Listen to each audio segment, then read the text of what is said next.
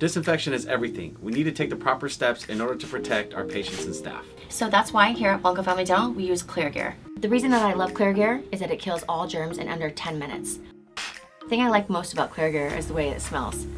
We don't smell the bleach or ammonia like you do in other products.